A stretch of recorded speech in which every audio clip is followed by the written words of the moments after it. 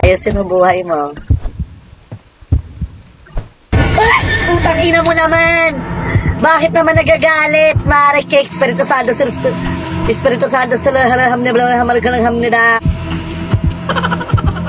Inaalagaan naman kita ng mabuti, ba't ka naman nananakot? Ay, putang ina mo naman eh!